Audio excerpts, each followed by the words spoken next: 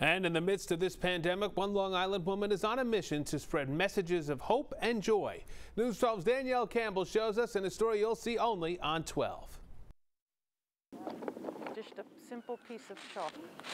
I wanted to try to spread a little positivity and let people know that they're not alone.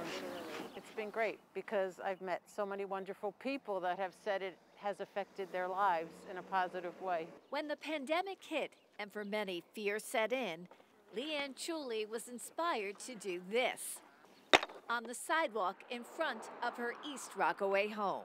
I like anything with the word love in it. When it first snowed, I did all snow quotes.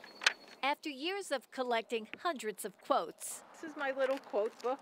LeeAnne, armed with a rainbow of colors, spread her own sunshine on some very dark days. It's like a work of love. People started stopping me in the street and said, Are you the one writing the quotes? And I said, Yes. And they said, Please keep going. This helps us. It was a little little ray of sunshine in the day. I just love them all. She inspires me. I never thought in a million years that something so simple could have a positive effect like that.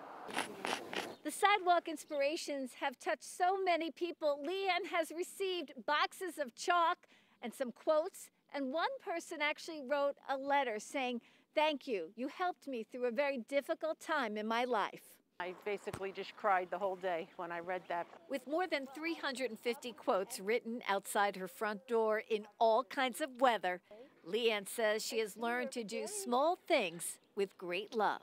You don't have to make grand gestures to change the world. That's what I learned from doing this. I think the world would really change if we had a little more love in the world. It's been a blessing in my life to do this.